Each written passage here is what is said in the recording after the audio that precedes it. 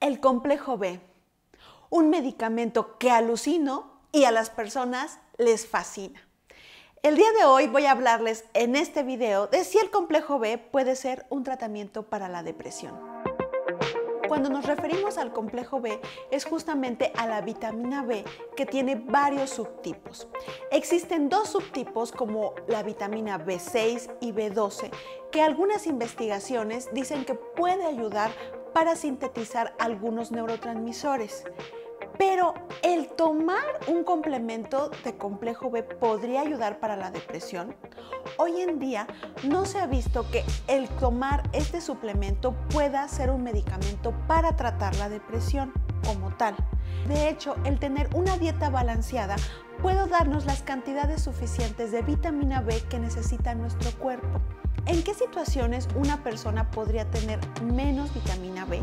Por ejemplo, cuando una persona está en desnutrición, con una dieta realmente deficiente o cuando se tiene alguna enfermedad de la absorción como la enfermedad celíaca o la enfermedad de Crohn. Como ustedes saben, esto es súper raro y por eso es que cuando una persona pudiera tener síntomas parecidos a la depresión como cansancio o fatiga secundario a no tener suficiente vitamina B es súper raro. Entonces, ¿para qué nos serviría el tomar vitamina B ya sea tomada o inyectada?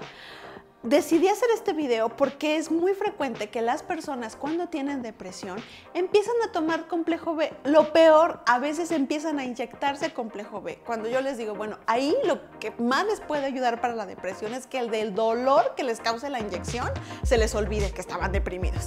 Tal cual. Por otro lado, a veces médicos generales llegan a recetar el complejo B. Considero que lo hacen un poco por temor a utilizar un tratamiento adecuado como los antidepresivos. Y entonces, a veces las personas llegan al consultorio y les pregunto, oiga, eh, ¿usted ha tomado algún tratamiento para la depresión? Y me dicen, sí. ¿Y qué ha tomado usted? complejo B. Entonces yo me quedo, bueno, es que ese no es un tratamiento para la depresión.